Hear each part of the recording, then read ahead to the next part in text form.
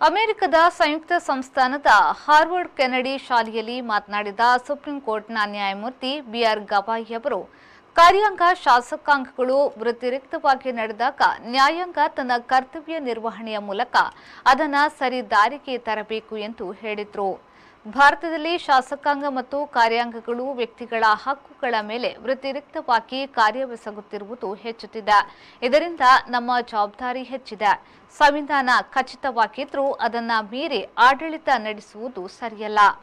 ಹಾಗಾದಾಗ ನ್ಯಾಯಾಂಗವು ಕೈಕಟ್ಟಿ ಕುಳಿತುಕೊಳ್ಳುವುದು ಸಾಧ್ಯವಿಲ್ಲ ಎಂದು ಜಸ್ಟಿಸ್ ಗವಾಯಿ ಹೇಳಿದ್ರು.